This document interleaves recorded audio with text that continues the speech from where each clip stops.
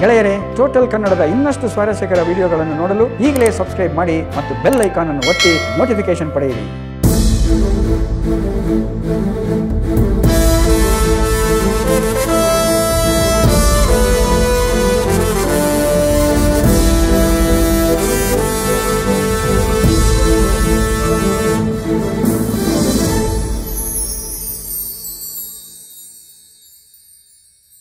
ನನಗೆ ಒಂದು turning point ಸಿಕ್ಕಿದ್ದು ಅಂದರೆ ಗೆಜ್ಜೆನಾದ. ಆ ಸಿನಿಮಾನ ಪ್ರಸಾದ್ ಲ್ಯಾಬಲ್ಲಿ ನೋಡೋದಕ್ಕೆ ರಾಜ್ಕುಮಾರ್ ಅವರು ಅವರ ತಮ್ಮ ವರದಪ್ಪ ಅವರು ಬಂದಿದ್ದರು ನಾನಿರಲಿಲ್ಲ ಅಲ್ಲಿ. ಪ್ರೊಡ್ಯೂಸರು ಡೈರೆಕ್ಟ್ರು ಇಬ್ಬರೇ ಇದ್ದಿದ್ದು. ಸಿನಿಮಾ ಎಲ್ಲ ಯಾಕಂದರೆ ಅವರ ಹಳೆಯಂದು ಸಿನಿಮಾ. ಸಿನಿಮಾ ಎಲ್ಲ ನೋಡಿ ಮ್ಯೂಸಿಕ್ ತುಂಬ ಚೆನ್ನಾಗಿ ಮಾಡಿದ್ದಾರೆ. ಯಾರು ಸರ್ ವಿ ಮನೋಹರ್ ಅಂತ ಜಗ್ಗೇಶ್ ಪಿಕ್ಚರ್ಗೆಲ್ಲ ಮ್ಯೂಸಿಕ್ ಮಾಡೋರು. ತುಂಬ ಚೆನ್ನಾಗಿದೆ ಅಂತ ಹೇಳಿ. ನಾನು ನನಗೆ ಇಷ್ಟ ಆಯಿತು ಅಂತ ಹೇಳಿ. ಸೊ ಇದನ್ನು ಆ ಡೈರೆಕ್ಟ್ರು ನನಗೆ ಹೇಳಿದರು. ಗೆಜ್ಜನಾದ ವಿಜಯ್ ಕುಮಾರ್ ಅವರು. ವಿಜಯ್ ಕುಮಾರ್ ಅವರು ಹೇಳಿದ್ದಕ್ಕೆ ನನಗೆ ಸರ್ ಇದು ಒಳ್ಳೆ ಸುದ್ದಿ ಇದನ್ನು ಪೇಪರಲ್ಲಿ ಹಾಕ್ಸ್ಬೇಕು ಅಂತ. ಹೌದಾ? ಅದೇನೋ ತಪ್ಪಾದರೆ ತಪ್ಪೇನಾಗಲ್ಲ ಅಣ್ಣ ಅವರ ಮೆಚ್ಚಿಕೊಂಡಿದ್ದ. ಹೌದು. ಅವರೇ ಮೆಚ್ಕೊಂಡಿದ್ದ ನಾವು ಹೇಳೋದು ಹೇಳಿದ್ರೆ ನಮಗೆ ಪ್ರಚಾರ ಇದು. ಅಂತ ಅದನ್ನು ಪೇಪರ್ಗೆ ಕೊಟ್ವಿ. ಪೇಪರ್ಲಿ ಗೆಜ್ಜೆನಾದ ನೋಡಿ ರಾಜ್ ಪ್ರಶಂಸೆ ಅಂತ ಹಾಕಿದ್ರು. ಅದೇನಾಯಿತು? ಅದಕ್ಕೆ ಸಪೋರ್ಟ್ ಆಯಿತು ಪೇಪರಲ್ಲಿ ಬಂದ ಸುದ್ದಿ. ಅದು ಗೆಜ್ಜೆನಾದ ಸೂಪರ್ ಹಿಟ್ ಆಯ್ತು ಸಿನಿಮಾನೂ ಚೆನ್ನಾಗಿತ್ತು. ಇದು ನನಗೆ ಟರ್ನಿಂಗ್ ಪಾಯಿಂಟ್. ಒಂದು ದಿವಸ ದೊರೆ ಭಗವಾನ್ ಡೈರೆಕ್ಟ್ರು. ಆ ಭಗವಾನ್ ಸರ್ ನನಗೆ ಹೇಳಿ ಕಳಿಸಿದ್ರು. ಒಂದು ಭಕ್ತಿಗೀತೆ ಕಂಪೋಸ್ ಮಾಡಬೇಕು. ಅಂತ. ಇದನ್ನು ರಾಜ್ಕುಮಾರ್ ಅವರು ಹಾಡ್ತಾರೆ ಅಂತ ಭಗವಾನ್ ಸರ್ ಹೇಳಿದರು. ಇದನ್ನು ಬರೆದವರು ಯಾರು ಅಂತಂದರೆ ಖ್ಯಾತ ಹಿಂದೂಸ್ತಾನಿ ಗಾಯಕಿ ಸಂಗೀತ ಕಟ್ಟಿಯವರ ತಂದೆ ಎಚ್ ಎ ಕಟ್ಟಿಯವರು. ಅವ್ರು ಬರೆದಿದ್ದು ಯಾವ ಹಾಡು ಅಂದರೆ ರೇಣುಕಾಂಬ ಭಕ್ತಿಗೀತೆ. ಆಕಾಶ್ ಸ್ಟುಡಿಯೋ ಇದೆಯಲ್ಲ ಆಕಾಶ್ ಆಡಿಯೋ. ಅವರು ಅದನ್ನು ಪ್ರೊಡ್ಯೂಸ್ ಮಾಡ್ತಾರೆ ಅಂತ ಆಯಿತು. ಸೊ ರಾಜ್ಕುಮಾರ್ ಅವರು ಸಲಹೆ ಕೊಟ್ಟಿದ್ದು. ಗೆಜ್ಜೆನಾದ ಮ್ಯೂಸಿಕ್ ಮಾಡಿದ್ನಲ್ಲ ಅವನ ಕೈಲಿ ಮಾಡಿಸಿ ಅಂತ. ಸೊ ಭಗವಂತ ಸಾರು ಒಂಬತ್ತು ಹಾಡು ತಂದುಕೊಟ್ರು. ನನಗೆ ಭಯ. ಯಾಕಂದರೆ ಇದನ್ನು ಅಣ್ಣವ್ರು ಹಾಡ್ತಾರೆ. ಅಣ್ಣವ್ರು ಹಾಡಬೇಕಾದ್ರೆ ಆ ಟ್ಯೂನ್ ಹೇಗಿರಬೇಕು? ಈಗ ನಾನು ಏನೋ ಮಾಡಬೇಕಲ್ಲ ಅಂತ ಹೇಳ್ಬಿಟ್ಟು ಒಂದೊಂದು ಹಾಡಿಗೆ ಐದೈದು ಟ್ಯೂನ್ ಮಾಡಿದೆ. ಒಂಬತ್ತು ಹಾಡಿಗೆ ನಲವತ್ತೈದು ಟ್ಯೂನ್ ಭಗವಾನ್ ಸರ್ ಹತ್ರ ಹೇಳಿದ್ವಿ ಸರ್ ರೆಡಿ ಸರಿ ಅಂತ ಒಂದಿನ ದಿನ ಫಿಕ್ಸ್ ಮಾಡಿದ್ವಿ. ಅಣ್ಣವ್ರ ಮನೆಗೆ ಹೋದ್ವಿ. ಎಲ್ಲ ಉಭಯ ಕುಶಲೋಪರಿ. ಎಲ್ಲ ಆಯಿತು. ಒಂದು ಹಾಡು ಫಸ್ಟ್ ಮೊದಲನೇ ಹಾಡು ಒಂದು ಟ್ಯೂನ್ ಹಾಡಿದ್ರು. ಇಷ್ಟ ಆಯಿತು. ಇದಕ್ಕೆ ಐದು ಟ್ಯೂನ್ ಮಾಡಿದ್ವಿ. ನಕ್ಬಿಟ್ರು ಅವರು. ಒಂದು ಹಾಡಿಗೆ ಐದು ಟ್ಯೂನಾ ನಮ್ಗೆ ಇದೇ ಚೆನ್ನಾಗಿದೆಯಲ್ಲ? ಇನ್ನೊಂದು ಕೇಳಿ ಸರ್. ಆಯ್ತಪ್ಪ ಹಾಡಿ ಅಂತ ಎರಡನೇದು ಕೇಳಿದ್ರು. ಇದು ಚೆನ್ನಾಗಿದೆ ಅದು ಚೆನ್ನಾಗಿದೆ. ನಮಗೆ ಎರಡು ಚೆನ್ನಾಗಿದೆ. ನೀವೇ ಸಿಲೆಕ್ಟ್ ಮಾಡಿ ಅಂದ್ರು. ಕೊನೆಗೆ ಮೊದಲನೇದು ನಾವು ಇದು ಇರಲಿ ಅಂತಂದ್ವಿ. ಈಗ ಎರಡನೇ ಹಾಡು. ಇದಕ್ಕೂ ಐದು ಟ್ಯೂನ್ ಮಾಡಿದ್ರ ಅಂದ್ರು. ಹೌದು ಒಂಬತ್ತಕ್ಕೂ ಐದೈದು ಟ್ಯೂನು. ನಲವತ್ತೈದು ಟ್ಯೂನು ನಮಗೆ ಒಂದು ಇಷ್ಟ ಆದರೆ ಅದೇ ಸಾಕು ಅಂತ. ಅಣ್ಣವರು ಒಂದೊಂದು ಟ್ಯೂನ್ ಓಕೆ ಮಾಡಿದ್ರು. ಹತ್ತು ಗಂಟೆಗೆ ನಾವು ಹನ್ನೊಂದು ಹನ್ನೆರಡು ಗಂಟೆಗೆ ನಮ್ದೆಲ್ಲ ಮುಗೀತು. ಅವರು ಹಾಗೆ ಕಳಿಸೋರಲ್ಲ. ಊಟ ಹಾಕ್ಸಿಯೇ ಕಳಿಸೋರು. ಅಣ್ಣವ್ರ ಮನೆಗೆ ಯಾರೇ ಬರಲಿ ಅವ್ರು ಊಟ ಮಾಡಲೇಬೇಕು. ಆ ಥರ. ಆಮೇಲೆ ಒಳ್ಳೊಳ್ಳೆ ಭಕ್ಷ್ಯ ಭೋಜ್ಯ ತುಂಬ ಬಹಳ ಇದು ಅಡುಗೆ ಮಾಡೋರು. ಊಟ ಎಲ್ಲ ಆದಮೇಲೆ ನಾವು ಹೊರಡ್ತೀವಿ ಅಂತ ನಾನು ಹೇಳಿದೆ. ನನಗೆ ತುಂಬ ಭಯ ಆಗಿತ್ತು. ಯಾಕಂದರೆ ಶಾಸ್ತ್ರೀಯ ಸಂಗೀತ ನಾನು ಕರ್ ಕಲ್ತಿರ್ಲಿಲ್ಲ. ಸುಮ್ಮನೆ ಟ್ಯೂನ್ ಮಾಡೋದೇನೋ ಬರೋದು. ಹೆಂಗೋ ಮಾಡಿದ್ದೀನಿ ಆದರೆ ನನಗೆ ಭಯ ಇತ್ತು. ಅದಕ್ಕೆ ಅಣ್ಣವ್ರು ಹೇಳಿದರು ಭಯ ಇದ್ದಲ್ಲಿ ನಯ ಇರುತ್ತೆ. ಅದು ಆ ನಯ ಇದ್ದಲ್ಲಿ ಒಂದು ಲಯ ಇರುತ್ತೆ ಬದುಕು. ಯಾವ ಯಾವತ್ತು ಆ ನಯ ವಿನಯವನ್ನು ಕಾಪಾಡಿಕೊಂಡೇ ಬರಬೇಕು ನಾವು. ನಾಳೆ ನೀವು ನಿಮಗೆ ಹೆಸರು ಬರ್ಬೋದು ಒಳ್ಳೆ ಕೀರ್ತಿ ಬರ್ಬೋದು. ಆವಾಗ ಯಾವತ್ತು ನಮಗೆ ನೆತ್ತಿಗೆ ಹತ್ತಬಾರದು. ಒಂದು ಹೇಳ್ತೀನಿ ಅಲೆ ಏರಿ ಬಂದಾಗ. ತಲೆಬಾಗು ತಲೆಬಾಗು ಅಂತ. ಸೊ ಅಲೆಗೆ ಕಂಪೇರ್ ಮಾಡಿ ಕೀರ್ತಿಯನ್ನ ಅವರು ಹೇಳಿದ್ರಲ್ಲ ಅಲ್ಲಿಂದ ನಮ್ಮನ್ನು ಗೇಟ್ವರೆಗೆ ಬೀಳ್ಕೊಟ್ಟು ಮೊದಲ ಕ್ಯಾಸೆಟ್ ಹೇಗೆ ಇದು? ಜನಪ್ರಿಯತೆ ಹೇಗಾಯ್ತು? ತುಂಬಾ ಚೆನ್ನಾಗಿ ಹೋಯ್ತು ಅದು ಏನು ಕಂಬ ರೇಣುಕಂಬ. ಇದು. ಅದಾದ್ಮೇಲೆ ಉಳವಿ ಚೆನ್ನಬಸವೇಶ್ವರ ದೇವರ ದಾಸಿಮಯ್ಯ ಆಮೇಲೆ ಅಯ್ಯಪ್ಪ ಸ್ವಾಮಿ ಶಬರಿಗಿರಿವಾಸ ಅಂತ ಆಮೇಲೆ ಆದಿಪೂಜಿತ ಗಣೇಶಂದು ಆಮೇಲೆ ಶಿವಮಂದಾರ ಹೀಗೆ ಒಂದು ಒಂಬತ್ತು ಆಲ್ಬ ಹತ್ತು ಆಲ್ಬಮ್ ಮಾಡಿದ್ವಿ. ಅಣ್ಣವ್ರದ್ದು ಈಗ ವಿ ಮನೋಹರ್ ಅಂದರೆ ಜನ್ಮದ ಜೋಡಿ ಅಂತ ಹೇಳ್ಕೊಂಡು ಹೇಳ್ಬೋದು. ಒಂದು ಅತ್ಯಂತ ಪ್ರಖ್ಯಾತವಾದಂಥ ಚಿತ್ರ. ಅದರಲ್ಲಿ ತಾವು ಸಂಗೀತ ನಿರ್ದೇಶಕರಾಗಿದ್ದೀರಿ. ಈ ಜನ್ಮದ ಜೋಡಿ ಬಂದ ಸಂದರ್ಭದಲ್ಲಿ ಓಂ ಬಂದ್ಬಿಟ್ಟು ಹಂಸಲೇಖ ಅವರ ಅತ್ಯಂತ ಪ್ರಖ್ಯಾತಿಯನ್ನು ಪಡೆದಂಥ ಸಂದರ್ಭ. ಅಂತಹ ಸಂದರ್ಭದಲ್ಲಿ ಶಿವರಾಜ್ ಕುಮಾರ್ ಅವರದ್ದು ಜನ್ಮದ ಜೋಡಿಯಲ್ಲಿ ತಾವು ಸಂಗೀತ ನಿರ್ದೇಶಕರಾಗಿದ್ದು ಹೇಗೆ? ಅದು ನಾನು ಕೇಳ್ಪಟ್ಟ ಪ್ರಕಾರ ಮೊದಲು ಹಂಸಲೇಖ ಸರ್ ಅದಕ್ಕೆ ಮ್ಯೂಸಿಕ್ ಮಾಡಬೇಕಾಗಿತ್ತು. ಆ ಟೈಮಲ್ಲಿ ಹಂಸಲೇಖ ಸರ್ ಅವರು ಅವರ ಮಗನ ಹಾಕೊಂಡು ಒಂದು ಸಿನಿಮಾ ಮಾಡೋದಕ್ಕೆ ಹೊರಟಿದ್ರು ಸುಗ್ಗಿ ಅಂತ. ಸೊ ಅದು ಕೂಡ ಒಂದು ಮ್ಯೂಸಿಕಲ್ ಫಿಲ್ಮು ಇದು ಮ್ಯೂಸಿಕಲ್ ಫಿಲ್ಮು ಹಂಸಲೇಖ ಸರ್ಗೆ ಒಂಥರ ಈ ಎರಡೆರಡು ಇದು ಏಕಾಗ್ರತೆ ಬರ್ತ ಅವರು ಅವ್ರು ಹೇಳಿದ್ರಂತೆ. ನನಗೆ ಅಣ್ಣವ್ರು ಹೇಳಿದ್ದು ನನಗೆ ಕಾನ್ಸಂಟ್ರೇಷನ್ ಮಾಡೋಕ್ಕಾಗ್ತಿಲ್ಲ ಈ ಸಿನಿಮಾಕ್ಕೆ ನನ್ನ ಮಗನ ಸಿನಿಮಾದ ವರ್ಕ್ ತುಂಬ ಇದೆ. ಇದೊಂದು ಸಿನಿಮಾ ಬಿಟ್ಬಿಡಿ. ನೀವು ಬೇರೆ ಯಾರ ಕೈಲಾದ್ರೂ ಮಾಡಿಸಿ. ಅಂತ ಹೇಳ್ಕೊಂಡ್ರು ಅಂತ ಅಣ್ಣವ್ರು ನನಗೆ ಹೇಳಿದ್ದು. ಬೇರೆ ಬೇರೆ ವರ್ಷನ್ ಇದೆ. ನನಗೆ ಗೊತ್ತಿದ್ದ ಪ್ರಕಾರ ಈ ಥರ. ಸೊ ಹೀಗಾಗಿ ನನಗೆ ಆ ಅಣ್ಣವರ ರೈಟ್ ಹ್ಯಾಂಡ್ ಚೆನ್ನ ಅಂತ ಅವರು ಸಂಕೇತ್ ಸ್ಟುಡಿಯೋಗೆ ಬಂದು ನನಗೆ ಹೇಳಿದರು ಹೇಳಿ ಕಳಿಸಿದ್ರು. ಮ್ಯೂಸಿಕ್ ಮಾಡ್ಬೇಕಂತ ಮಾಡಬೇಕು ಜ ಜನ್ಮ ಜೋಡಿನ ಸಿನಿಮಾ ಆಗ್ತಾ ಇದೆ. ನೀವು ಮ್ಯೂಸಿಕ್ ಮಾಡಬೇಕು ಅಂದರು.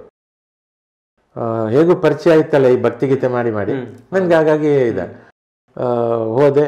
ಹೋದರೆ ಅಲ್ಲಿ ಬರ್ಗೂರು ಸರ್ ಇದ್ದರು ನಾಗಾಭರಣ ಸರ್ ಇದ್ದರು ವರದಣ್ಣ ಅಣ್ಣ ಅವರು ಇಷ್ಟು ಮಂದಿ ಇದ್ದರು ನಾನು ಎಲ್ ಎನ್ ಶಾಸ್ತ್ರಿ ಹೋಗಿದ್ವಿ. ಕತೆ ಎಲ್ಲ ಕೇಳಿಕೊಂಡು ಒಂದು ಸುಮ್ಮನೆ ಮಾತುಕತೆ ಫುಲ್ ಡೀಟೇಲ್ ಕತೆ ಅಲ್ಲ. ನಾಗಾಭರಣ ಸರ್ ಏನು ಮಾಡಿದ್ರು ಅಲ್ಲಿಂದ ನನ್ನನ್ನು ಕರ್ಕೊಂಡು ಅವರ ಆಫೀಸಿಗೆ ಕರ್ಕೊಂಡು ಬಂದರು. ಕರ್ಕೊಂಬಂದು ಕತೆ ಎಲ್ಲ ಹೇಳಿದ್ರು. ನಾನಾಗ ಒಂದು ಹನ್ನೆರಡು ಸಿಚುವೇಶನ್ಗೆ ಅವ್ರು ಹೇಳಿದ್ದೊಂದು ಆರು ಸಿಚುವೇಶನ್ನು ನಾನೊಂದು ಹನ್ನೆರಡು ಸನ್ನಿವೇಶಕ್ಕೆ ಹಾಡುಗಳನ್ನ ಗುರುತಾಕೊಂಡೆ. ಆಮೇಲೆ ಬರಣ ಸರ್ ಹತ್ರ ಹೇಳಿದೆ ಸರ್ ಈ ನೀವು ಹೇಳಿದ ಆರು ಸಿಚುವೇಶನು ಇನ್ನೂ ಆರು ಸಿಚುವೇಶನ್ ನಾನು ಸಾಂಗು ಇದು ಒಟ್ಟು ಹನ್ನೆರಡು ಸಾಂಗ್ ಮಾಡ್ಬೋದು. ನೇ ನಾವು ನಿಮ್ಮ ಸಾಂಗ್ಸೇ ಮಾಡೋದಾ? ನಮ್ಮ ಡೈಲಾಗ್ ಮಾಡೋದು ಬೇಡವಾ? ಅವೆಲ್ಲ ಆಗಲ್ಲ. ಏಳು ಏಳು ಸಾಂಗ್ಸ್ ಅಷ್ಟೇ. ಅಂದರು.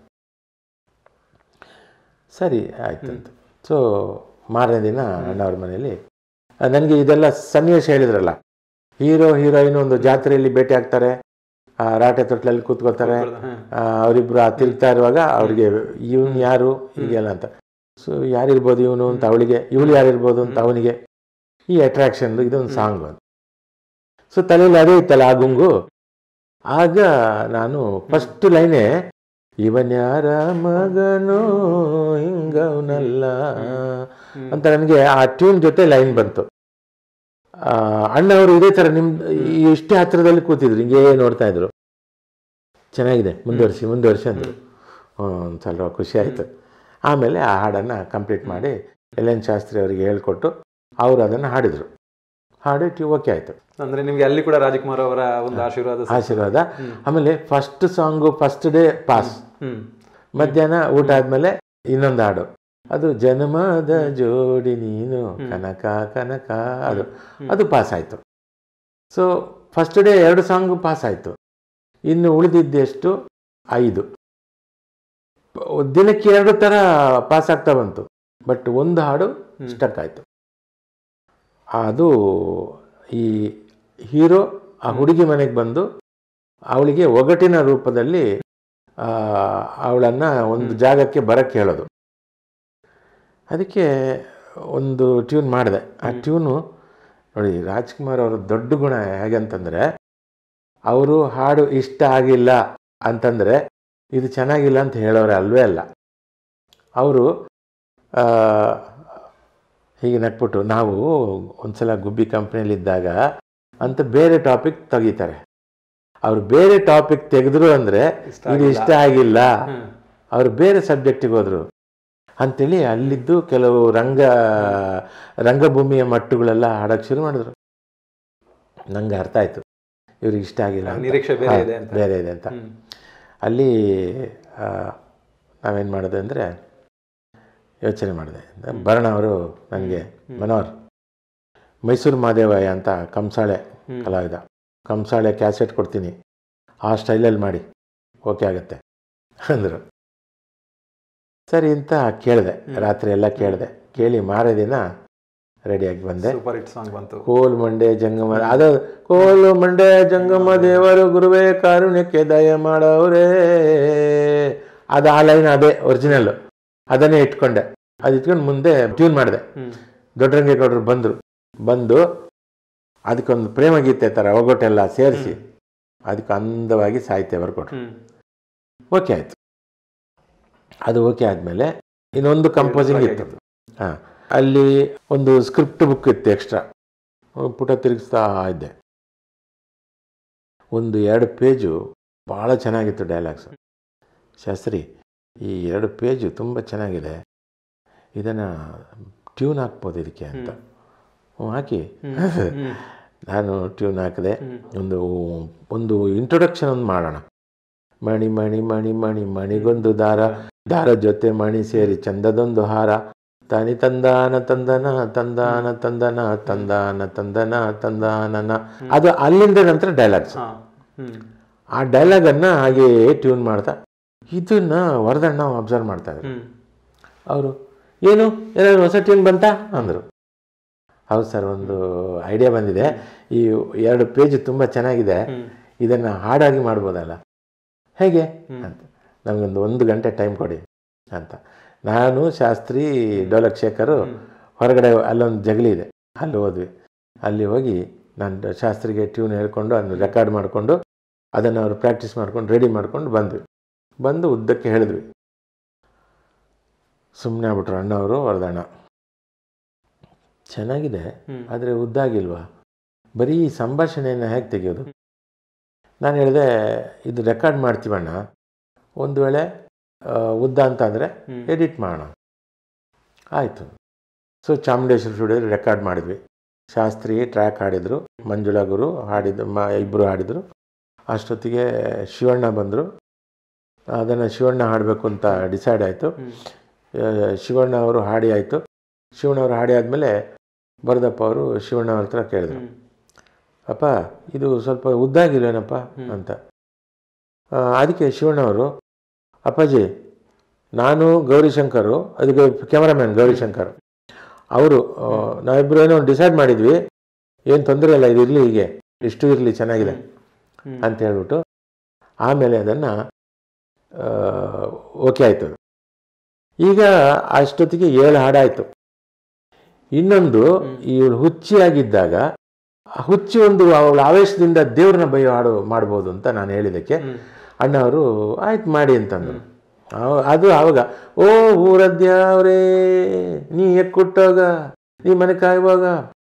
ಅದು ಈ ಅಣ್ಣವರು ಈ ಅವರ ಗುಬ್ಬಿ ಕಂಪ್ನಿಯಲ್ಲಿರುವಾಗಿನ ಅನುಭವಗಳು ಹೇಳುವಾಗ ಎಲ್ಲ ನಿನ್ನ ಮನೆ ಕಾಯುವಾಗ?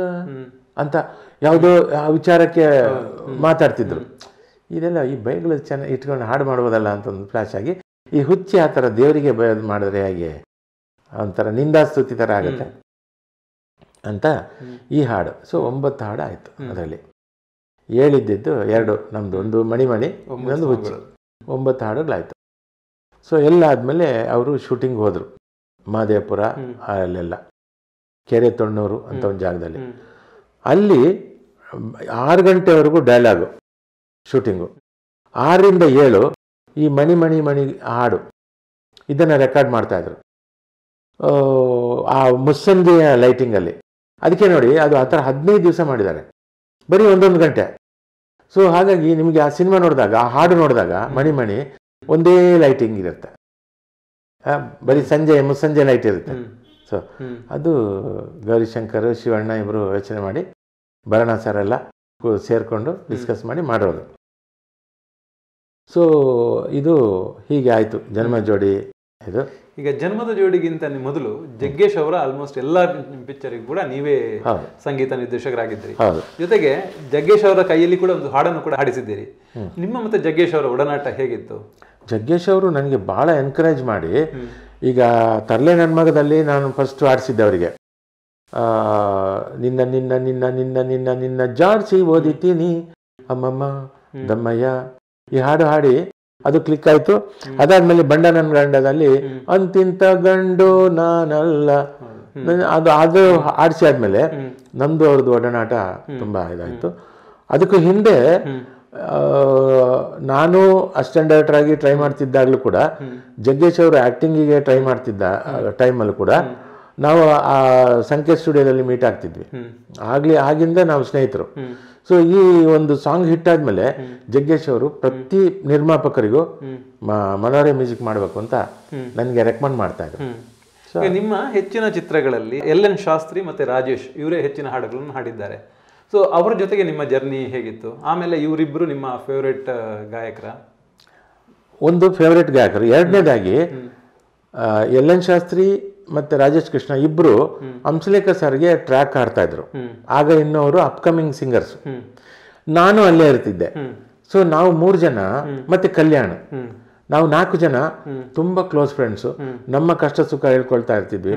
ಒಳಗಡೆ ರೆಕಾರ್ಡಿಂಗ್ ನಡೀತಾ ಇದ್ದಾಗ ನಾವು ಹೊರಗಡೆ ಅಲ್ಲಿ ಲಾನ್ನಲ್ಲಿ ಕೂತ್ಕೊಂಡು ಮಾತಾಡ್ತಾ ಮಾಡಿಕೊಂಡು ಕಳೆಕಾಯಿ ತಿನ್ಕೊಂಡು ಹರಟೆ ಹೊಡ್ಕೊಂಡು ನಮಗೆ ಏನಾದ್ರು ಟ್ಯೂನ್ ಬಂದ್ರೆ ಅದನ್ನ ಹೇಳ್ಕೊಂಡು ರಾಜೇಶ್ ಕೃಷ್ಣ ಅವರು ಹಾಡ್ಕೊಂಡು ಹೀಗೆ ಕಲಿತಾ ಇದ್ವಿ. ಸೊ ನಮ್ಮಲ್ಲಿ ಆ ಒಡನಾಟದಿಂದಾಗಿ ನಾನು ಎಲ್ ಎನ್ ಶಾಸ್ತ್ರಿ ರಾಜೇಶ್ ಕೃಷ್ಣ ಇಬ್ಬರನ್ನೇ ಪ್ರಿಫರ್ ಮಾಡ್ತಿದ್ದೆ.